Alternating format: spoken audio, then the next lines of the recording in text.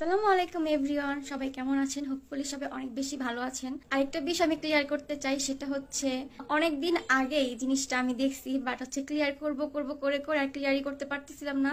মাঝখানে আমার পেজটারও সমস্যা হলো। আপনাদের কাছে আমার একটা কোয়েশ্চেন থাকবে। কোয়েশ্চেনটা হচ্ছে যে, আমি তো বর্তমানে এখন সিঙ্গেল আমি যদি এখন রাস্তাঘাটে বের হই, যদি আমার ফ্যান ফলোয়ার্স আমাকে দেখে আমাকে দেখে যদি এখন ছবি তুলে বা সেলফি তুলে সেটাকে পোস্ট করে অবভিয়াসলি মেয়েরা করলে সেটাতে নাম হবে না। এখন যদি কোনো ছেলে ফ্যানকে দেখি, যদি কোনো ছবি তুলে সেটাকে পোস্ট করে, হতে যে কোনো সোশ্যাল মিডিয়াতে এটা ফেসবুকে হতে পারে টিকটকে হতে পারে ইনস্টাগ্রাম হতে পারে, যে মানে যেইখানে ইচ্ছা সেখানে পোস্ট করতেই পারে। এখন এই যে আমাকে নিয়ে ছবি পোস্ট করল, এর মানে কি আমি সেই ছেলের সঙ্গে ঘুরতে গেছি? এটাই কি লজিককে ধরে? মানে কি বলব, কিছুই বলার নাই। আর সবার আগে বলব যে, আমি এতটাও গাধা না যা, আমি এক জায়গায় যাচ্ছি বের হয়েছি, সেখানে আমি ভিডিও করব না। আমি অবশ্যই ভিডিও করে রাখছি। তার আগে বলে রাখি যে, বিষয়টা আরও অনেক দিন আগের ঘটনা। তারপরেও আমার বলতে বাধ্য হচ্ছি, কারণ এটা এখনও আমাকে ইনবক্স করতেছে, আপু, এটা কে? আমি মেন্টালিটি খুবই খারাপ ছিলাম ডিপ্রেসড ছিলাম, যার জন্য আমার কাজিনরা আমার বাসায় আসে। তো ওরা আমাকে খুবই মানে কি বলব, বের করার জন্য ট্রাই করতেছিল যে, বাসায় বসে বসে এরকম ভাবে এক কোনারে বসে থাকে শুধু শুধু ডিপ্রেশনে যাওয়ার তো কোনো প্রয়োজন হয়নি। আমাদের সাথে, বাহিরে চল, বাহিরে গেলে ভালো লাগবে। বাহিরের পরিবেশে একটু নিজেকে অ্যাডজাস্ট করার ট্রাই কর। মনটাও ফ্রেশ লাগবে। তো এর জন্য ওরা আমাকে হচ্ছে নিয়ে যায়, আমরা বাহিরে যাই, একটু বের হই। এখন ওই যে আমরা যে বাহিরে গেলাম, আমি তো প্রপারলি মেন্টালিটি ভাবে আমি ভালো ছিলাম না। আমি তো ডিপ্রেসড এখনও আছি, আর আগে তো আরও বেশি ছিলাম। আমি তো আরও ভ্লগ করার উদ্দেশ্যে বাহিরে যাই না, যে আমাকে ভ্লগ করতে হবে, এটা করতে হবে, সেটা করতে হবে। তো ওরা আমাকে বলতেছিল যে, বের যখন হইছিস, তাহলে কিছু কিছু শর্ট নিয়ে রাখ। ভাগ্যক্রমে যে আমি শর্টটা নিয়ে রাখছিলাম, এটা এখন আমার কাজে লাগবে।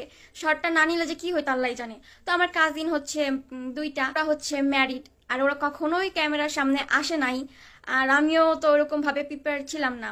তো ওদেরকে আমি নেই নাই, যেহেতু কখনো আসে নাই বা আনইজি ফিল হচ্ছিল ওদের। আমার নিজের কাছে কেমন জানি লাগতেছিল যে ভিডিও করব, হ্যান ত্যান, কীরকম লাগে বিষয়টা বা ভালো মানে ভালো লাগতেছিল না। ওরা হচ্ছে, আমি বলি, যারা সাভারের ভিতরে আছেন বা এই ধামরাইয়ের দিকে আছেন, তারা চিনবেন প্লেসটা সেটা হচ্ছে রূপনগরে যাই ঘুরতে। রূপটপে আমরা যাই খাওয়ার জন্য। তো ওইখানে হচ্ছে আমার অনেকগুলো ফ্যান ফলোয়ার আমি এখানেও একটা ক্লিয়ার করে দিই। আবার কয়েকদিন পরে হয়তো বা সেটা বের হবে, ওটা নিয়েও কথা হবে। ওখানে একটা টিম গেছিল মেবি চার পাঁচটা ভাইয়া একসঙ্গে গেছিল। আর যেই ছবিটা এখন আর কীরকম ইস্যু ক্রিয়েট করতেছে সেই ছবির যে ভাইয়াটা, ওই ভাইয়া তার ওয়াইফকে নিয়ে গেছে। তো অনেকক্ষণ ধরে তারা আমাকে ফলো করতেছিল কথা বলার সাহসটা পাচ্ছিল না। তো আমার কাজিনরা করছে কি সাইডে গিয়ে পিকচার তুলতেছিল, আমি জাস্ট চুপচাপ বসেছিলাম, আমরা খাবার অর্ডার দিয়েছিলাম সেটা আসতে একটু লেট হচ্ছিল বিধায়, আমি বসেছিলাম।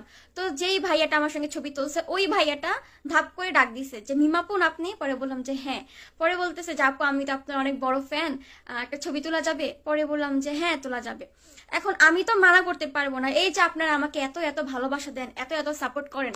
এখন আমি তো বিশ্ব সুন্দরী না, যে আমার সঙ্গে কেউ ছবি তুলতে আসলে আমি মানা করে দিব যে, না ভাই, আমি ছবি তুলতে পারব না। রূপের আগুন গলে গলে পড়বে, আমি তো এরকম বলতে পারব না, তাই না? সেই ভাইয়া তার ওয়াইফের সঙ্গে পরিচয় করে দেয়, বলল যে, এটা আমার ওয়াইফ আমরা অনেকক্ষণ ধরে আপনাকে ফলো করতেছিলাম বাট কথা বলার সাহস পাচ্ছিলাম না। তো আমি বললাম যে হ্যাঁ ঠিক আছে ছবি তুলেন, কোনো সমস্যা নাই। তখন সেই ভাইয়ার ওয়াইফ আমার আর ওই ভাইয়ার একটা ছবি তুলে দেয়। ছবি তোলার পরে ভাইয়া পরে ওনার ওয়াইফকে ডাক দিয়ে আমার মানে তিনজনের একটা সেলফি তুলে। তো এই জিনিসটা আমি তাও জানতাম না যে এটা এরকম ভাবে ভাইরাল হয়েছে তো আমার সেই কাজিনদের চোখে পড়ে টিকটকে যায় জিনিসটা। তো ভাইয়া কিন্তু খুব সুন্দরভাবে নিচে ক্যাপশনে লিখে দিছিল মানে নাম নিতে এখন বাধ্য হচ্ছি। ভাই সুন্দর করে নিচে লিখে দিছে যে, মিমস নাজিম ভ্লগের মিম আপুর সঙ্গে হঠাৎ করে রূপনগর ঘুরতে এসে দেখা হয়ে গেছে। এরকম টাইপের একটা ক্যাপশন সে দিছে। মানুষের তো খারাপ। ওই যে সিঙ্গেল যে ছবিটা আমার সঙ্গে তার, সেটাও সে পোস্ট করছে। সঙ্গে তার ওয়াইফের সঙ্গে যে আমাদের তিনজনের যে ছবিটা আছে সেলফি সেটাও পোস্ট করছে। এখন এই যে আমাদের তিনজনের সঙ্গে যে ছবিটা, এই ছবিটাকে কেউ ধরে নাই। কিন্তু ওই যে তার সঙ্গে যে আমার সিঙ্গেল ছবিটা আছে, সেইটাকে ধরছে যা আমি ডিভোর্সের পরে অন্য ছেলে নিয়ে ঘুরতে যাচ্ছি, আমি কত ফুর্তিতে আছি, কত ভালো আছি। মানে কি বলব, এর থেকে আর কি হইতে পারে? তো সেই ভাইয়া যখন আমার সঙ্গে ছবি তুলে, পাশে যে চার পাঁচটা ভাইয়ারা টিম আসছিল ওনারাও পরে বলে, যাপু ছবি তুলবো, কিছু মাইন্ড করবে না? তো বলছি, না, ভাইয়া, ছবি তুলেন সমস্যা নাই। তো তারাও সবাই সিঙ্গেল সিঙ্গেল করে ছবি তুলছে গ্রুপ ভাবে ছবি তুলছে। এখন কথা হলো, এই যে যে ম্যারিড ভাইয়াটা ইনার যে ছবিটা নিয়ে আমার আমার আমাকেই ইস্যু ক্রিয়েট করতেছে যে আমি ঘুরতে গেছি ওনার সঙ্গে। তো আরও যে ভাইয়ারা ছবি তুলছে ওনারা পোস্ট করছে কিনা জানি না। এখন ওনারা পোস্ট করার পরেও যদি ওইটাও আবার ধরে যে এই দেখেন, একই দিনে চার পাঁচটা ছেলের সঙ্গে একসঙ্গে ঘুরতে গেছে মানে এগুলো কি? এগুলো কি কোনো আদৌ কোনো লজিকের মধ্যে পড়ে?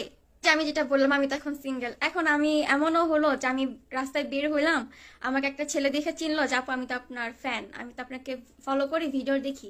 এখন সে যদি বলে যে একটা ছবি তুলি, তাহলে কি আমি আদৌ মানা করতে পারব? বা মানা করাটা কি আমার সাজে? আচ্ছা আমার আমার সাবজেক্টটা বাদই দিলাম। অনেক ভ্লগার আপু আছে যারা সিঙ্গেল তাদেরও ফ্যান ফলোয়ার আছে। তো তাদেরকে কি কেউ দেখে ছবি টবি তুলে